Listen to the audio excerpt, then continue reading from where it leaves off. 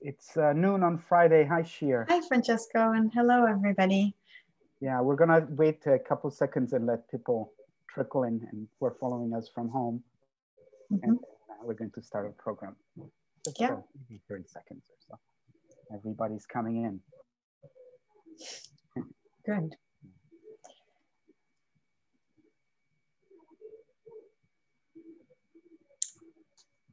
So maybe um, I can just welcome you all to Zooming In, our weekly curatorial conversations from the Magnes Collection of Jewish Art and Life. I'm Shir Gal Kochavi, Assistant Curator, and joining me, our fearless Francesco Spagnolo, Head Curator. Hi, Francesco. Yeah. Always good to see you. Every Friday we get a chance to chat and to yeah. explore the Magnes collection, more, more or less one object at the time, although today maybe a few photographs at the time. Absolutely. Um, just as a reminder for everybody, this is a Zoom webinar, which means that participants' videos are hidden. But if you have any technical questions for us, you can use the chat button on the bottom of your screen. You can also use that button if you would like to let us know where you're, where you're zooming in from uh, today. And please feel free to use the Q&A button on the bottom of the screen as well for any questions that you might have for us. Uh, we're going to, to have a conversation for approximately 20 minutes or so, and we'll leave a few minutes at the end for any of your questions. So hopefully we'll be able to answer as many as possible. Uh, just as a quick reminder, the Magnes Collection of Jewish Art and Life is one of the largest Jewish museum collections in the world, one of the top three in the United States and the only one associated with a major research university. Today, yeah, you know, before we talk about what we're talking about, let's mm -hmm. uh, also acknowledge the fact that we have a new collaborator in our That's right. And uh, welcome, he, Ross. Yeah, Ross Calper, and he's not he's invisible, but very much there, and he's managing the Zoom call and uh, the chat and Q and A. So Thank you, Ross, for being with us. Uh, Ross is an undergraduate at UC Berkeley, and it's a pleasure to have him on board. And now, yes, sure, we are talking about. We'll be talking about uh, Beyond the Photo Archive, Reconstructing the Concerns of Roman Vishniac, a 1971 exhibition at the Magnes Collection. This is an exhibition uh, called, um, um, I apologize, um, an archive of today, archives. an archive of archives.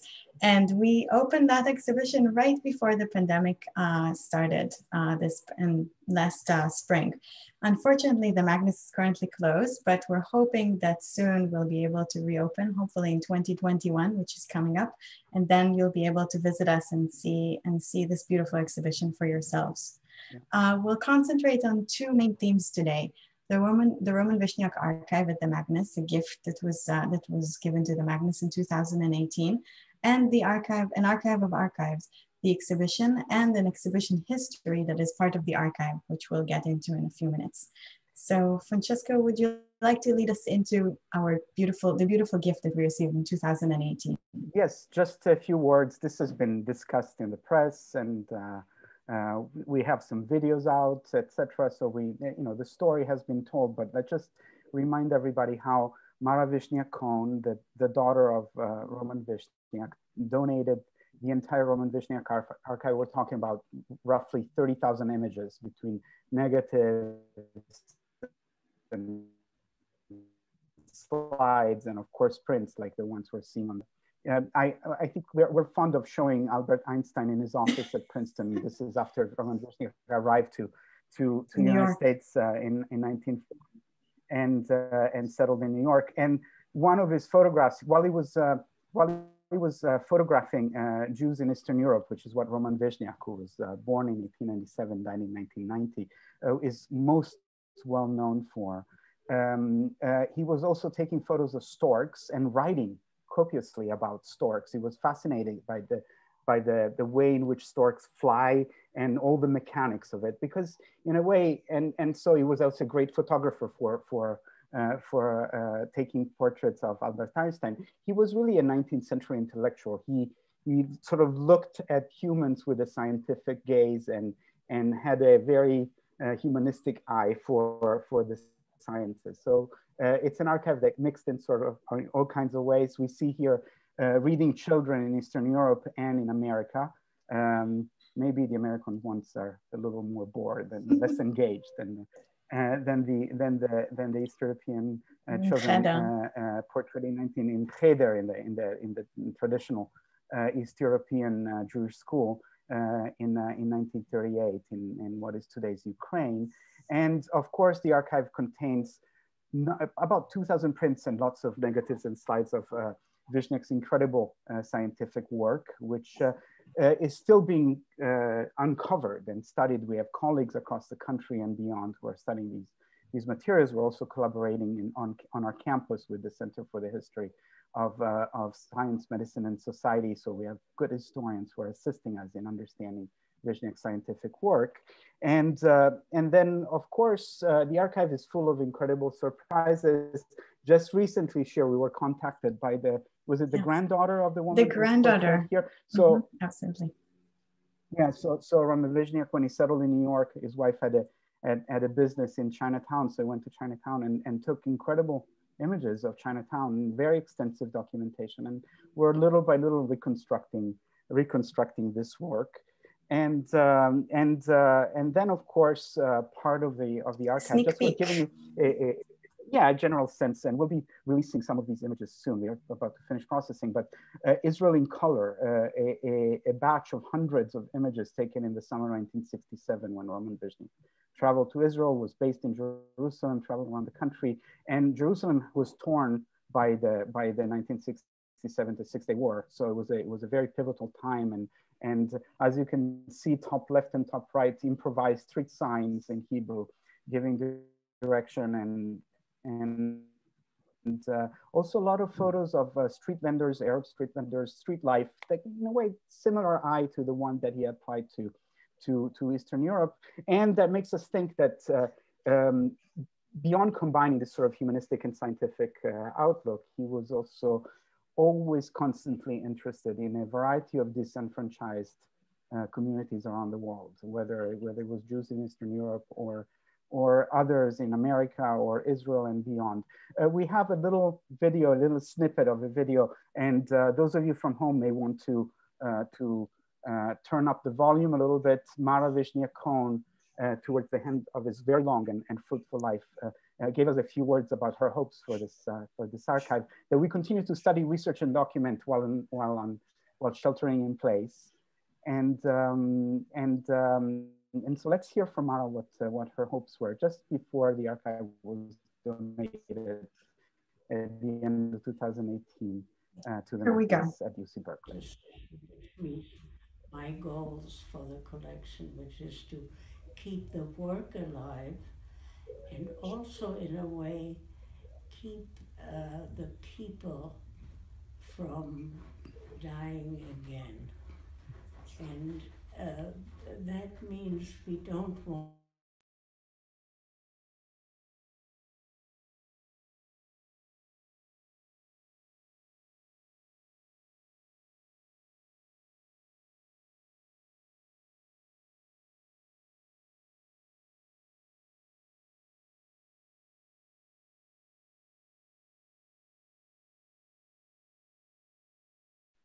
uh, involved uh, both as photography uh, and uh, possibly with the experience of our Jewish family. So um, to find uh, a place that kind of sparkles with activity uh, and involves young people is uh, just almost the fulfillment of a, uh, I hesitate to say a dream, but that comes to mind. So, and the, these were the beautiful words of Mara Vishniac. Uh, and we're hoping soon to be able to really re-invite all the students who have been working with us. And luckily, a lot of them have continued working with us throughout the semester digitally. So as Francesca said, we'll hopefully be able to make a lot of materials available for some of you to even uh, view from home. Uh, an archive of archives, our new exhibition, and a part of a long history of exhibitions by uh, organized by different organizations for uh, Roman Vishniac's unique and, and interesting and incredible photographs uh, was an exhibition that we opened at the Magnes, and here it is, uh, just just a few months ago. And Francesca, would you be interested in walking us through it? And I'll join you in a few in a minute in, in, in introducing a bit of what we know of the history of the exhibitions of Roman mm -hmm. Absolutely. Well, so here are just a few slides that document uh, what is left of an exhibition that, as you said, Roman Vishniac presented in, in New York. It was a collaboration with, a, with, uh, uh, uh with Cornell Capa, and, uh, and it was about the, the, the, overarching theme of concerned photography, hence the title, The Concerns of Roman Vishniac. But it's also an important exhibition. So essentially what we were, were trying to do, and we will continue doing once we reopen to the public, is, is show how the Roman Vishniac archive is uh, in a way a container of many other archives. And it allows us to reconstruct the exhibition history of Roman Vishniac. And in the case of this exhibition, again, 1970, 1971, 72, those are the years in which it was conceived and presented. Uh, this is an exhibition that really helped framing the future of uh, legacy, and especially as we will see in the course of this presentation, the, the literal framing of the images for his publication project about a decade later, A Vanished World. So it's, it's an important uh, transitional moment. It was also an exhibition, it was designed as we see, uh, it was designed, it was uh, in, installed on panels and traveled across the United States and made Roman Vishniac a household name, especially among the, the Jewish communities in, in North America. Uh, but it was preceded, and so this is just an example of the other archives within the archive, by other exhibitions. These are um, the original boards uh, of uh, two exhibitions that Vishniac presented in 1944 and 1945 at YIVO, the Yiddish uh, Research Institute in New York.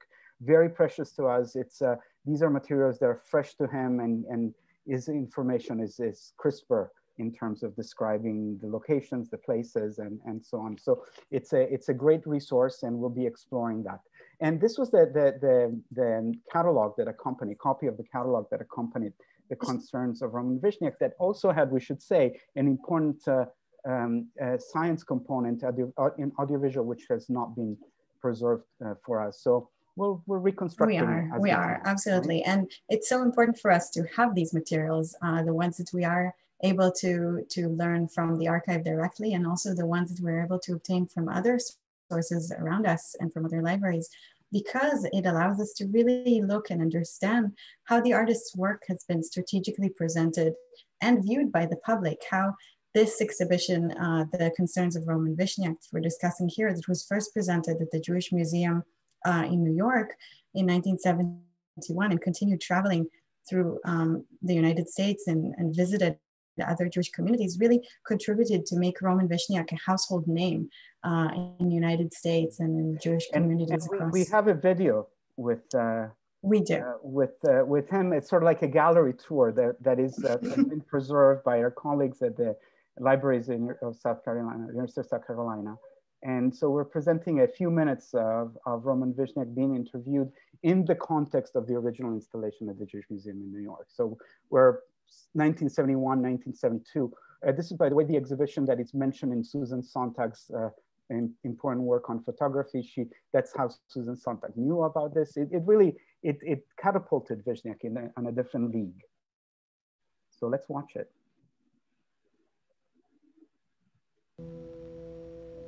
Oops, I'm sorry. Hello. It, it was good. There we go. It was good to see the rest. mm -hmm. Hello, I'm Gregory Jackson for directions here in the Jewish Museum in New York. Roman Vishniac has been called one of the few true Renaissance men of our time.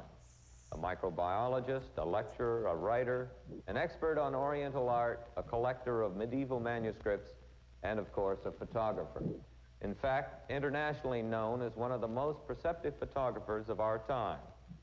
Speaking of his extraordinary work in microphotography, for example, one critic put it simply when he said, Vishniac makes the invisible visible.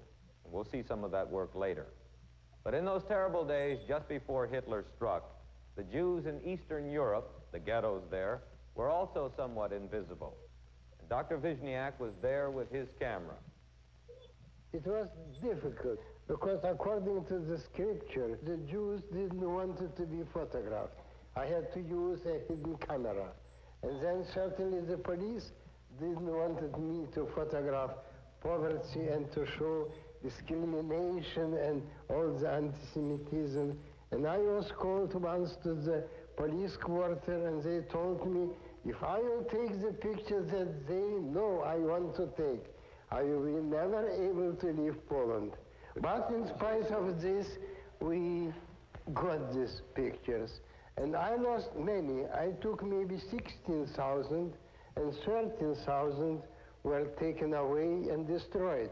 But I saved still 3,000 pictures so that we see how the life was in so-called normal time. Naturally, the time was never normal. It was always a very hard time. It is strange. I took the pictures 35 years ago, but when I see them again, I am as excited as I was at this time, because I knew that the danger that all these people will be killed was something that paralyzed me. And I remember all details. I remember the smell, and I remember what was to the right and to the left of the position I stood, and what I told to the people, and what did they answer me, and everything seems, this moment, this moment, the moment is still alive with me.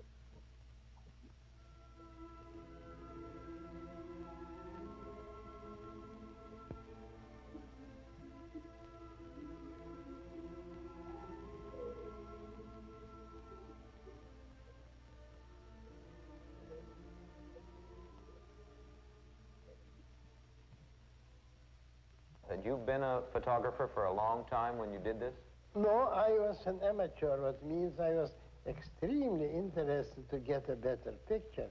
And only when I arrived into this country in 1941 to make a living, I couldn't speak English. I could make only pictures, the only communication.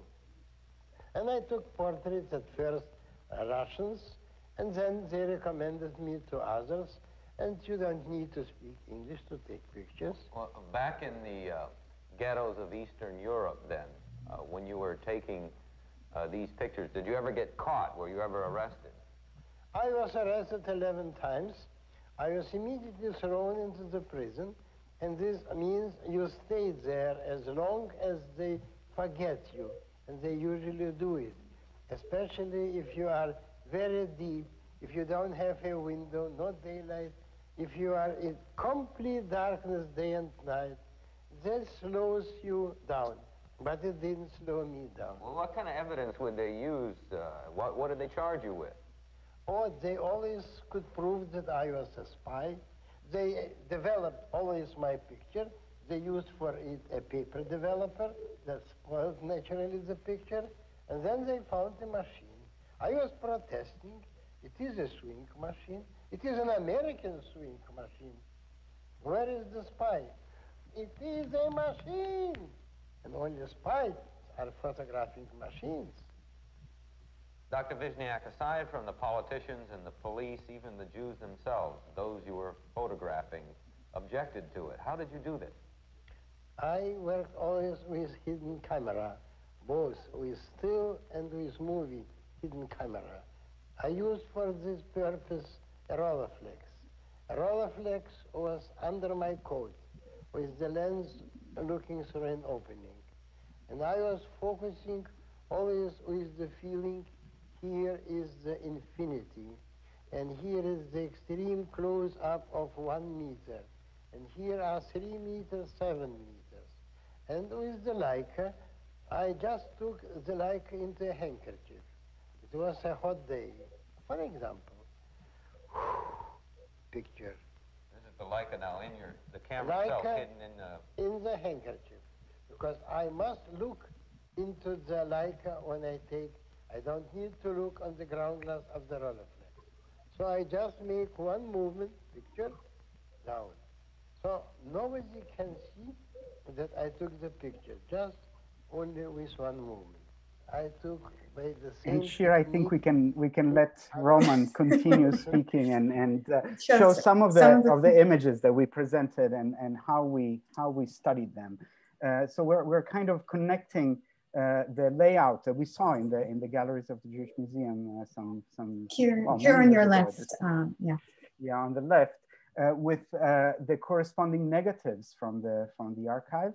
Uh, so you see on the, On the center, center. you see a, a, a negative, and on the right, you see how the image was then printed in the publication. A, a, a Vanished World about a decade after the, the exhibition itself. So, and what one sees is really in, in, in doing this type of comparative work, how this exhibition was a graphic, a photographic, a pictorial staging ground for what became the, the volume of Vanished World that then launched uh, Vishniac's name in a, on a global scale. The, the book was translated in many languages and it was published all over the world and continues to be an important uh, volume on which we're also, of course, uh, working. So let's look at a couple of other examples of this.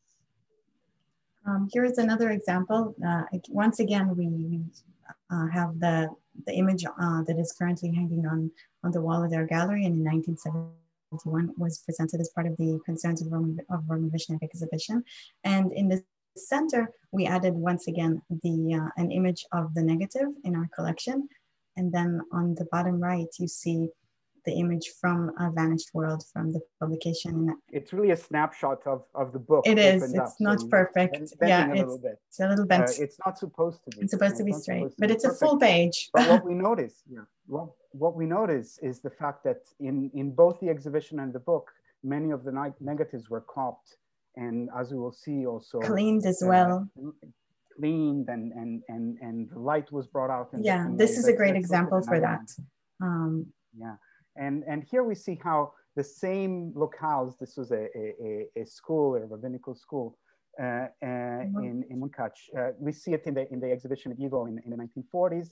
In this exhibition, 1970s, it's a, it's the same area but different photographs. And then we see the the story of this photograph. And I think in the next slide we see again the Yes, negative, here. uh, much more somber than, Yeah, than in the center. final product uh, uh, in uh, in the exhibition, and then on the right in the vanished world. And this goes carries all the way into the the image that became the cover of the book. mhm, And so let, let's find that because we opened our exhibition with essentially with that photograph all the obvious reasons. We have the, the, the negative on the right and we see it's a more expanded view of this uh, very intimate uh, scene.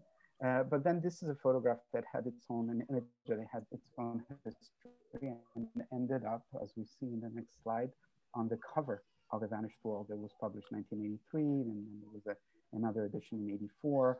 And, of uh, and, and in a way, this is where our story sort of Mhm. begins. But in order to begin our story, we have to go back and research all these exhibitions and how, how they were presented. And it's a double research in a sense. On the one hand, there is the research itself where we use the, the existing documentation, the negatives, the slides, etc. And then there's also, of course, the books and the written materials that we keep reading and looking into. And luckily, some members of the family who are wonderful in helping us. Absolutely, we have incredible resources, and uh, even though we're you know on lockdown, and here it is. That's at the beginning of our installation, our beloved uh, Magnes collection of Jewish art and life in downtown Berkeley that will hopefully soon reoccupy and revitalize with the presence of our staff and our students. Uh, let's see if we have any any questions from uh, from uh, um, from uh, people at home Yeah, we'd like to you encourage you. Q&A button. So if you Mhm. if you click on the Q&A button at the bottom of your Zoom screen, at this point, everybody from home is a pro, is a Zoom pro. At least our viewers. Uh, we wanted to kind of share with you what, what was the, the behind the scenes and the kind of thinking that we did that we did uh, in order to put this exhibition together and present it to the public. And Uh, actually, before we start with the first question, uh, since I know that you'll all be rushing off to enjoy your weekend in a few minutes, I just wanted to invite you to join us next week for a completely different presentation called Old Craft New Media, where uh, we'll have a wonderful guest, the artist uh, Gabriela Vilens, uh, who will be talking about her work inspired by the Bezalel exhibition that we had at the Magnes last year and a project called Leaning Towers, uh, which is a series of works Uh, so hopefully you'll be able to join us uh, next week for that. And let's get back to our questions. Yes, so let's see. Well, first of all, a technical question, if uh, um, if uh, are we able to to work on on the premises and uh, we were trying to explain that and we're actually now mostly some of us are, are going on on premises but we can't do collaborative work yet uh, so our students are very much engaged on, in a digital way they're helping uh, research doing image research and uh, and uh, inventory work and we have a fantastic team in place and we're really grateful for their and they all were returning students from from last year and then we have some new arrivals so some people, as I say, contract the Magnes bug and want to keep working with us for several years, which is really, really amazing. Um, yeah. And I uh, do, I yeah. do think it's important to um, encourage uh, all of our guests today, our listeners, and, and those who will hopefully listen in the future to, um, to log onto our website here on the bottom uh, right of the screen and search our collections because we have made a group of items from the archive already available, including a lot of the materials from the YIVO exhibitions of 1944 and 45. So if you are interested, you're welcome to, to enjoy the research that's already available, um, which is really part of the the few blessings of this time and the, avail the availability of, of digital work. So magnes.berkeley.edu on the screen. And of course, any additional questions, you can email us at magnes at, at berkeley.edu. Uh, we're mostly being thanked from, uh, from people at home. Um, and uh, they, some, some uh, viewers are seem to be enjoying uh, why, why we how, how we, we went back to the negatives, but that's exactly what we're trying to do and really exactly. reconstruct this, this, uh, this collection and, and turn it into, into an archive. And uh, somebody's reminding us, of course, there was a, a wonderful, the, the, the, writer says good, it was actually a wonderful exhibition at the, at the Contemporary Jewish Museum. It was actually a traveling exhibition mm -hmm. that, uh, that also has an amazing companion mm -hmm. book Roman Vishniac rediscovered, and we're huge fans of that work uh, that precedes our, ours. So, you know, we, we're standing on the shoulders of giants. Uh, what, what can I say? And, uh, and uh, I think we had a, another, um, um uh, well, people seem to be moved by the fact that they could hear uh, Roman Vishniac's words in person. Absolutely. And, and there's, a, there's so much to unpack there, so much complexity in what mm -hmm. he mm-hmm. says. And, and so we're working on that as well, but we're really uh, focusing on the, on the image material. Uh, uh, right now, a question from Sweden. I'm interested in how Roman Vishniac brought his negatives from Europe to the United States. We're not talking about it today because our, our, our conversation is, uh, is, uh, is uh, concluded pretty much. We just have a couple more minutes, but we will of course address this and also the, the, the companion catalog of the exhibition Roman Vishniac Rediscovered addresses this and the incredible story of how he was able to salvage many, but not all of the negatives and some of the prints too, and, and bring them to and few of the videos, uh, the video recordings. And yeah, and uh, and uh, uh, and a few of the video uh, footage. And uh, I think because questions, are, of course, are coming in from from different directions and Q and A and chat and and so let me just see. I think there was one that why did people not want to be photographed? Superstition. Uh, I think um, probably a variety of agendas, but uh, it's a very good question. It's a question that gets us thinking, I, I, I believe. Yeah, um, Roman Vishniac does explain it as superstition in that video that we saw. That's what he, ar- what he argues, but I'm sure you know reality is even more complex than absolutely he tells us. and of course, and, there's the question of what day of the week he chose yeah. to photograph uh, on. If Could it was we see some more images with your commentary? Yes, you can. Actually, if yes. you go on my Magnes website, you will find a video that was, uh, you can search for it, search Roman Vishniac at magnes.berkeley.edu, a video I recorded with uh, our colleague, historian John Efron from UC Berkeley, with commentary about these images. And we'll come back to this. And uh, many contributions, people are of course ex excited um, uh, about hearing about Roman Vishniac. We'll present more in the coming months. We are, we're really organizing uh, the archive and, and trying to deliver it in as much a, a speedy way as possible to everyone at home, since we have this captive audience at home. Um, I heard that some photographers, not sure Vishniac, somebody's writing, was sent to photograph the Jewish world in order to show that the community in Europe needed help. That was exactly Vishniac's agenda. So exactly. thank you for pointing, bringing this up. again, today we're not really investigating, and, and we're almost out of time. We did not investigate Mhm. the history of the of the initial photo shoot, but we're just suggesting that by investigating the archive itself, we can open up new dimensions, new territories, and and then go back in time and try and reconstruct what Vishniac did, saw, heard, as he said, smelled in uh, in Central Europe, but also in New York City and uh, in Chinatown, as we said, and in various parts of, of Manhattan and Brooklyn. So there, there is a lot more that we will explore in the coming days. Thank you so Thank much. Thank you for joining us for today. your words today and, and for facilitating next week a conversation with Gabriela Vilenz, a former student at UC Berkeley. We're looking Having forward to, uh, And thank you, Ross. well, week. before we end, Thank you, Ross. Yeah, absolutely. Ross Kauter, who's assisting us behind the scenes. And, um, and, um, we hope and, to see uh, you next well, we week. look to see you next week. There Have a good weekend. After that, that, Absolutely. etc. Except for the week of Thanksgiving. We will not be zooming in on Friday of the week of Thanksgiving. So see you next week. Cheers, See you and soon. goodbye to everyone. Bye, everybody. Thank you for joining us today. Bye bye.